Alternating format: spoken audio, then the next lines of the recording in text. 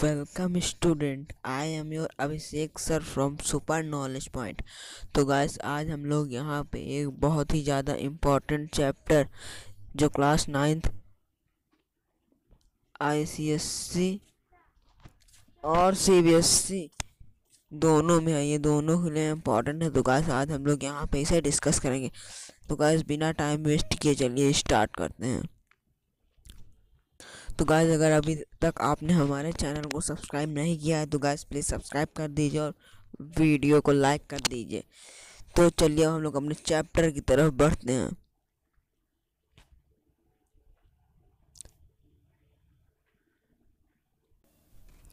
तो देखिए गाइस यहाँ पे जैसा कि आप स्क्रीन पर देख पा रहे होंगे, हम लोग चैप्टर के पास आ चुके हैं। तो जो हमारा चैप्टर है, वो है cell the basic unit of life ये क्लास नाइन्थ सेलिना बायोलॉजी से मैं पढ़ा रहा हूँ I C S C board तो गाइस चलिए हम लोग अब अपने चैप्टर की एक्सप्लेनेशन शुरू करते हैं।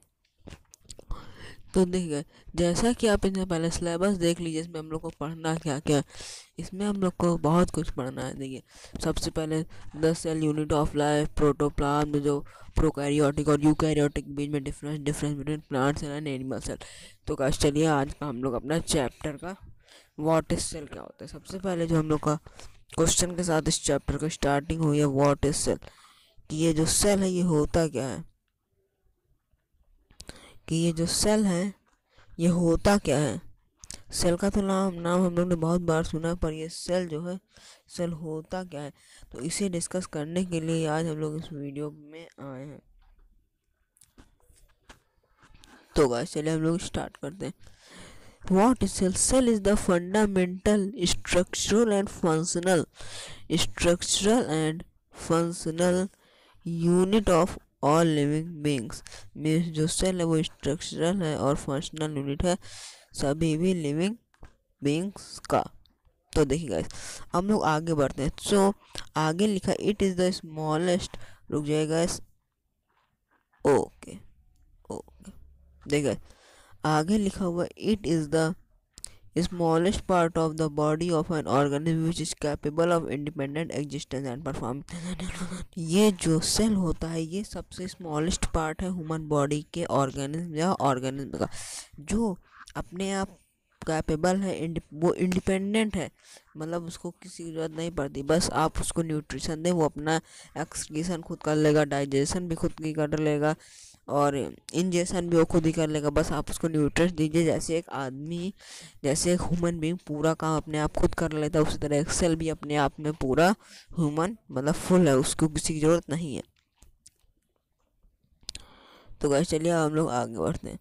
आगे लिखा है हम लोग के पास कि every organ every organ in the every organ in the body ना देखिए every organ in the body, the skin, the brain, and the muscles, or even the bone, is composed of hundred of thousand such इसमें बताया है, बताया गया कि जितने भी ऑर्गन्स होते हैं हमारे बॉडी के, वो सब स्किन से बने होते हैं। वो जो जितनी भी मतलब ऑर्गन होते हैं बॉडी के, जैसे स्किन हो गया ब्रेन हो गया मसल हो गया, और जहाँ तक बोन की भी बात करें तो वो भी हंड्रेड और थाउज़ेंड सच सेल से मिलके बने। मतलब कि सेल ही एक बहुत ही बेसिक यूनिट है। जैसे अगर आप एक वॉल की बेसिक यूनिट ढूँढने जाएँ तो आपको ब्रिक मिलेगी उसी तरह का। अगर ह्यूमन बॉडी की बेसिक यूनिट ढूँढने जाएँ तो क्या मिलेगा गाइज़ वो? वो सेल मिलेगा। तो देखिए, सेल मिल गया। अब देखिए, आगे बढ़ते हैं। अभी तक तो हम लोग बात कर रहे थे प्लांट सेल और एनिमल सेल प्लांट सेल की, कि प्लांट सेल में ऐसा होता है, लेकिन ऐसा अभी तक हमने किसकी बात की? अभी तक इसमें हमने बात की एनिमल्स की। एनिमल्स का मतलब कि ह्यूमन बींग्स की। अब देखिए, अब हम लोग यहाँ पर बात करने जा रहे हैं प्लांट्स की। तो चलिए डिस्कस करते हैं। Similarly every plant of the plant the leaf the flower the root and even the wood means कि जितने भी प्लांट होते हैं, उनका चाहे रूट ले लो लीफ ले लो या स्टम ले लो, वो सब सेल से मिलके बने होते हैं। किससे मिलके बने होते हैं गैस सेल से बने, मिलके बने होते हैं। और उनमें बहुत ज़्यादा नंबर ऑफ़ सेल्स होते हैं। Exceedingly a large number of cells तो आई होप गाइस आपको समझ में आ रहा होगा। तो चलिए, अब हम लोग आगे की तरफ़ बढ़ते हैं। तो आगे हम लोग की स्क्रीन पर आप देख पा रहे होंगे ये पार्ट क्या गाइज़ ये देखिए, हमने फ़र्स्ट पैरा डिस्कस कर लिया सेकंड पैरा डिस्कस करने और थर्ड पैरा डिस्कस करने जा रहे हैं। देखिए, ये वाला। Every cell has its own life मतलब जितने भी सेल्स होते हैं, उनकी खुद की एक लाइफ होती है। और ये मैंने अभी आपको बताया, इसको आप याद कर लीजिए, बहुत ही इंपॉर्टेंट पॉइंट है। क्या इंपॉर्टेंट पॉइंट है? मैं इसको अलग से हाईलाइट कर देता हूँ। ये देखिए every cell has its own life old and weak cells our body continuously die मतलब जैसे देखिए, अब सेल बहुत सारी होती है तो लगातार जो सेल बूढ़ी हो जाती है ओल्ड हो जाती है, पुरानी हो जाती है, वो लगातार डाई हुआ करती है और उनकी जगह नया सेल आ जाता है। All organism including our cells start life as single अगर हम लोग किसी भी ऑर्गेनिज्म की बात करें, चाहे वो, अगर हम लोग किसी भी ऑर्गेनिज्म ऑर्गेनिज्म की बात करते हैं, चाहे वो एलिफेंट हो, चाहे वो जिराफ हो, चाहे वो ह्यूमन बींग हो चाहे वो कैट हो, चाहे वो रैबिट हो मतलब एनी वो कुछ भी हो, वो जो है उसकी लाइफ स्टार्ट कहाँ से होती है? सिंगल सेल किससे गए सिंगल सेल मतलब उसकी जब लाइफ स्टार्ट हुई थी, तब सिंगल सेल से ही स्टार्ट हुई थी। आई होप गाइस आपको समझ में आ रहा होगा। और उस सिंगल सेल को हम लोग क्या कहते हैं गाइस उस सिंगल सेल्स को हम लोग बोलते हैं जाइगोट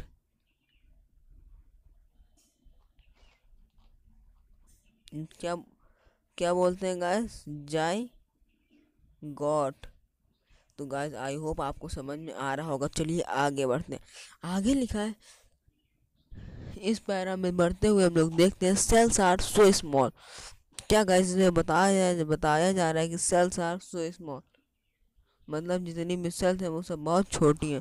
उन्हें माइक्रोस्कोप उनको हम अपनी नेक डाइस मतलब कि जो हम लोग सिंपल आँखें हम लोग इसमें कि बिना किसी इंस्ट्रूमेंट का यूज़ किए हुए नहीं देख सकते हैं। तो we can not see with naked eyes देखिए it was therefore a natural that their existence could not be detected by men by men until he invented a magnifying अब देखिए भाई अब हम लोग सेल को तो देख पा नहीं रहे हैं। जैसे हम लोग पहले जब बहुत ही, बहुत पहले की बात बताई गई, एकदम बेसिक सेल का बताया जा रहा है तो पहले तो हम लोग कुछ जानते नहीं थे कि सेल होती क्या है क्या होती है, इसलिए उन्हें हम देख नहीं पाते थे।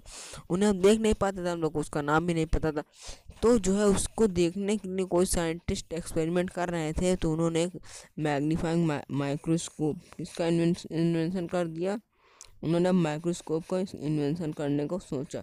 किस लिए सोचा? क्योंकि उनके लिए हेल्पफुल था। क्यों? क्योंकि वो साइंटिस्ट थे और वो साइंटिस्ट थे, उनके लिए माइक्रोस्कोप इंपॉर्टेंट था।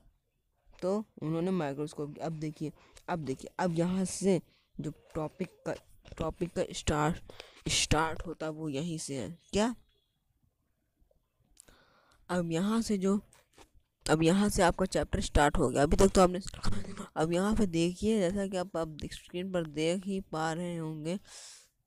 The invention of the microscope and the discovery of the अब यहाँ इस जगह, इस टॉपिक में जो है मतलब कब देखिए इन्वेंशन ऑफ़ माइक्रोस्कोप माइक्रोस्कोप का इसी टाइम पे इन्वेंशन हुआ और क्या हुआ? सेल की डिस्कवरी हुआ वो। कौन सा टाइम था? 1632 टू 1733 कौन सा गैस 16 रुझे मैं आपको अलग पेन से लिख के दिखा देता हूँ तो आई होप आपको याद रहेगा। देखिएगा sixteen thirty two to seventy seventeen twenty three इसको आप याद कर लीजिए। इस टाइम पे जो है, ये माइक्रोस्कोप और सेल का इन्वेंशन हुआ। तो देखिए the first microscope was constructed by Dutch scientist the first microscope was constructed by the Dutch scientist वो कौन से साइंटिस्ट यहाँ तक आप याद कर लीजिए Dutch scientist the first microscope was constructed by the Dutch scientist Antonie क्या guys Antonie van Leeuwenhoek sixteen thirty two 1723 अब देखिए मतलब जो हम लोग, अब यहाँ से हम लोग का जो है पहला माइक्रोस्कोप इन्वेंट हो गया। अब माइक्रोस्कोप तो इन्वेंट हो गया, पर यहाँ पे भी इन्वेंशन तो माइक्रोस्कोप का हो गया, पर अभी सेल का इन्वेंशन कहाँ हुआ? तो अब देखिए, अब सेल का इन्वेंशन भी धीरे धीरे होगा। ऐसे थोड़ी ना इतनी जल्दी आसान था सेल को इन्वेंट करना। तो देखिए, अब सेल की बात करें अगर हम लोग तो cell He was an ordinary public official who ground lenses and made a microscope observation. उनको जो Dutch scientist Antonie van Leeuwen थे उन्होंने क्या किया माइक्रोस्कोप बनाया अपनी हॉबी के हिसाब से और he is have a constructed चार हज़ार माइक फोर हंड्रेड माइक्रोस्कोप मतलब उन्होंने जो है total four hundred microscope construct किए basically his microscope consisted of single bi convex lens and we are called a simple microscope और उनका जो माइक्रोस्कोप है वो single bi concave bi concave lens के थे तो उन्होंने उसको क्या नाम दिया? सिंपल माइक्रोस्कोप तो देखिए, अब आगे बढ़ते हैं। Some of this some of this microscope had a considerable power at two two thousand, up to two two hundred time उसके बाद कुछ माइक्रोस्कोप आए, उनकी magnification power two hundred times. One of the Leeuwenhoek microscope shown in figure two point one in this microscope the eyes was देखिए मैं आपको figure दिखा रहा हूँ। द आइज़ वॉज़ ये है वो फिगर अगर, मैं आपको इसको हाईलाइट कर देता हूँ तो आपको समझ में आ जाएगा। आप इस फिगर को याद, रुक जाएगा वेट ये है वो फिगर तो यहाँ पे देखिए उन्होंने क्या किया था?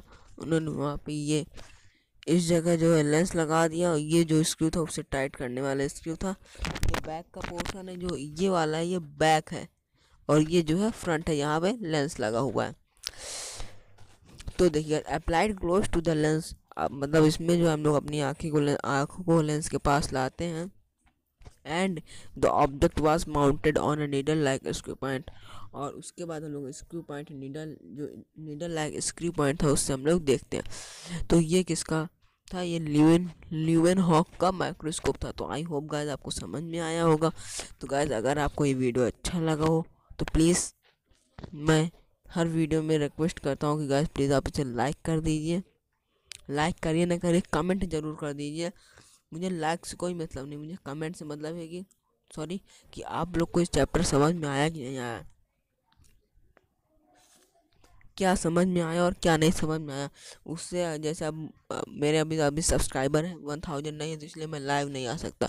इसलिए मुझे पता नहीं है कि आपको समझ में आ रहा है कि नहीं आ रहा नहीं तो लाइव में पता चल जाता है। बस प्लीज़ अगर आप हमारे चैनल को सब्सक्राइब कर देंगे तो हम लोग को समझ में आ जाएगा। कि आपको समझ में आ रहा है कि नहीं। तो चलिएगा तो हम लोग नेक्स्ट वीडियो में मिलेंगे नेक्स्ट वीड टॉपिक के साथ, जिसमें नेक्स्ट टॉपिक में रॉबर्ट हुक के बारे में डिस्कशन होगा। तो bye bye guys take care stay home stay safe